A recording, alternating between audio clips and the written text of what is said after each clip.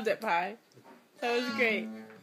Okay, we're gonna. I loved it.